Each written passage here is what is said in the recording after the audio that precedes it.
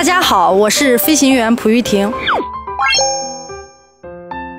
看到我们风雷飞行表演队队员们的飞行展示，感觉到很激动，也为他们感到骄傲。嗯，同时也能感受到观众对我们军人的尊崇和对国防事业的关心。首先，你得是一名女飞行员；其次呢，你还得有强健的体魄；最后是要有强大的抗压能力。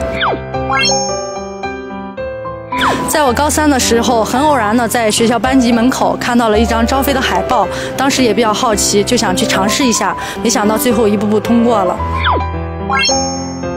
在去年的一次演习任务中，在能见度很低，嗯，天气条件不是特别理想的情况下，我和我的机组成员们共同完成了隐蔽突防的任务。在落地的那一刻，我们觉得我们很棒。我有一句最喜欢的话，就是脚踏实地，仰望星空。希望师妹们做好自己当前的事，未来你一定会成为你想成为的人。